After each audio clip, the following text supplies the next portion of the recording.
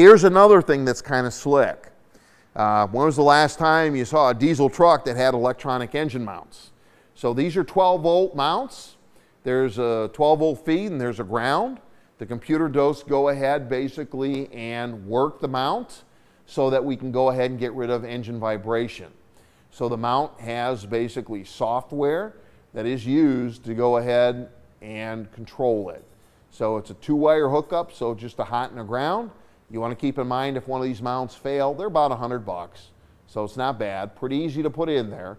They are indexed. The mounts on the left side and right side are different part numbers, just so you know because they're offset differently because the electrical connector has to fit in the right direction to fit the harness. Okay, so these mounts are there for you, keeping in mind that if you know someone complains about vibration and such, it could be a mount issue. Okay, they are DTCable. They will set a trouble code if there's an electrical fault and such.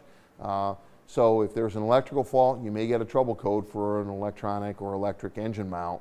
So you want to keep in mind that that's there for you on this truck.